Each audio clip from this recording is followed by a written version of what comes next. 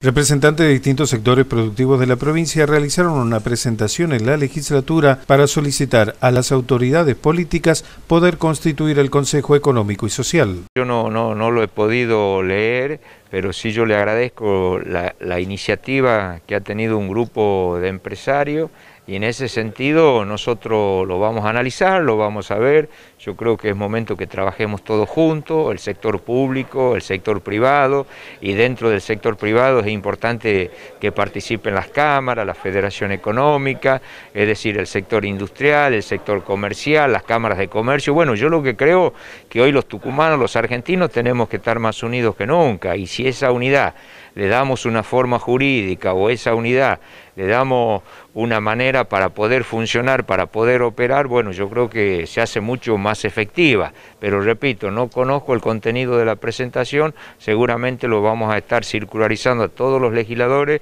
y seguramente lo vamos a estar analizando y le vamos a dar una respuesta cuando tengamos un conocimiento profundo de lo que hoy han presentado.